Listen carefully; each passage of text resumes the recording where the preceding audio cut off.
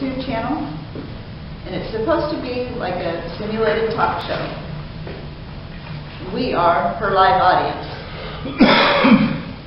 I'm introducing John, he will introduce Karen, and they will continue on. Mr. John Roberts.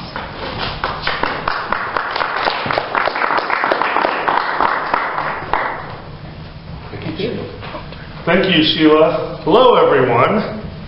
We have a great show for you today. Our first guest is Karen Rogers. Karen is a certified science teacher who decided to take her teaching out of the classroom and put it on YouTube.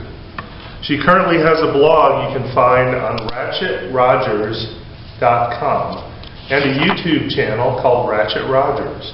She educates, motivates, and entertains. Ladies and gentlemen, please welcome Karen Rogers.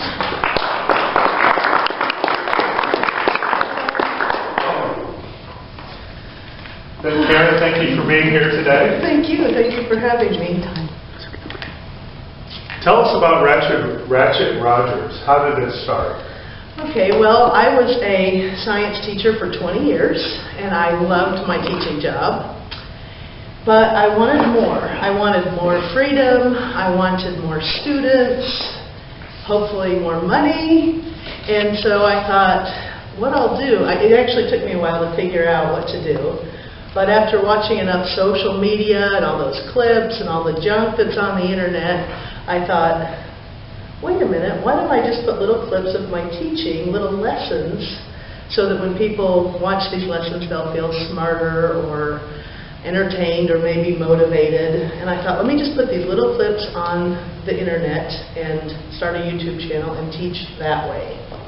Interesting. hmm How did you come up with the name Ratchet Rogers? Well, it's funny you ask. Most people think Ratchet Rogers is a terrible name.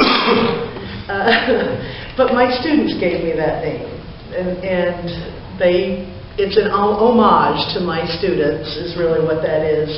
And also, I wanted a kind of a catchy name and also something that hadn't been taken on YouTube. And there's a lot of Karen Rogerses, KRs, K Rogers, but there's only one Ratchet Rogers. And so that's why I chose that name. Excellent, very nice. How long have you been doing this? I, my very first video was in October, and so it hasn't even been a year yet. And how's it been going? It's good. I, I like it. I'm not making any money yet, and that's a problem, but I've started, and that's really what I wanted to do. Right now, I have 80 subscribers. I have over 4,000 views, and I have 23 video blogs. They call them vlogs, video vlogs, vlogs. So it's, it's started, and that's what I'm happy about. Great. Mm-hmm. What has been the most difficult thing for you so far? Uh, The most difficult thing has been learning to use the technology. I- I'm no good at technology. I need a seventh grader to help me with it. But if you, I think with most technology, if you just take the time and have patience, you'll figure it out eventually. But it's been a challenge learning how to upload. I still have to make a thumbnail. Those are the little pictures that are next to the YouTube. I haven't quite figured that out. And, and my videos aren't real professional. They're pretty raw right now. But it's a start, Mhm. so. I'm sure there's a lot of people out in the audience that would like to do something similar. How would you tell, how would you tell them to get started? Well, if you want to do a blog, that's fairly simple. I use Bluehost, which is the space, and then WordPress, which is the blogging tools. And I paid $150 for a year of that. And you can do it for free, but really, it's one of those things, you get what you pay for, I believe. There's some cheaper ones, but you don't have as many options. But uh, you could start today if you wanted to start a blog. They just type in "How do I start a blog?" and it will you'll you'll find out how to do that. But if you want to do what I did, then it's Bluehost and WordPress, and prepare to spend a little money on that. Um, YouTube, very easy. All you have to do is sign up to YouTube, just like you would on Facebook, and you can start instantly uploading videos. And they even have some editing tools on YouTube. They're not maybe the best, but to start, they're perfect. Can you make money on YouTube videos? Um, I haven't yet. I know that you can. Most of the people who make money on YouTube are gamers. They play video games, and I thought, why would anybody watch somebody else play video games, but they're watching how to win? And those are the ones that make a lot of money. And you get paid by sponsors and advertisers. And so basically, you really need people to watch your shows and your videos.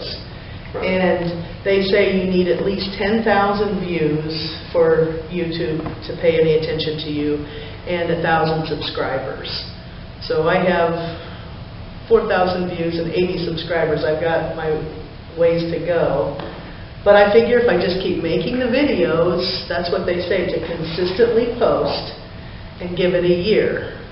And hopefully I can. but- Focus on the positive, you have 4,000. that's right.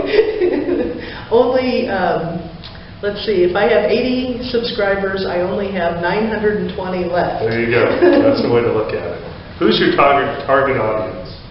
It's funny, I get asked that a lot, and I don't really know. I, I think in some ways it's geared towards teachers, maybe students, but honestly, it's for anybody who wants to watch them. I educate, motivate, and entertain all. Are your videos on any topic in particular?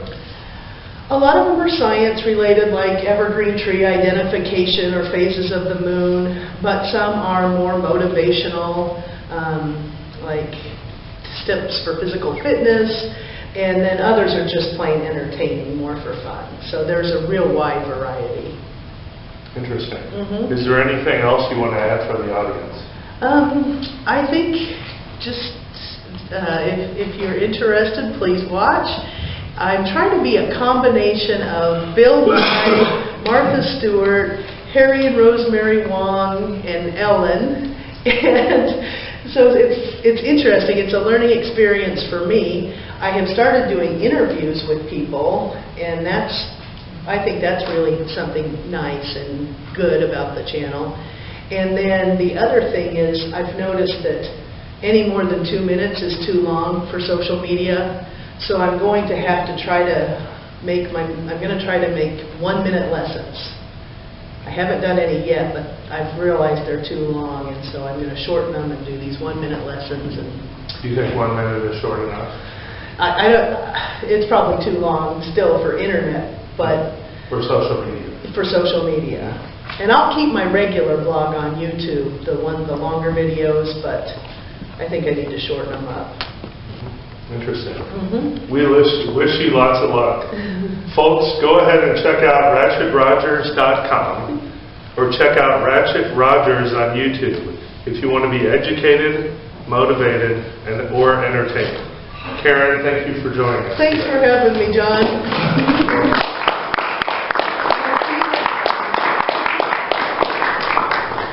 Thank you, Karen. Thank you, Sheila. John. I also want to introduce... Hopefully you hit record, Larry. I also want to introduce Dan Hutchins. He is uh, with Toastmasters Area K44 Director. He's here to uh, induct officers. I think there are only three of us here. No, there are four of us here. We were trying to do this last time, but he was unable to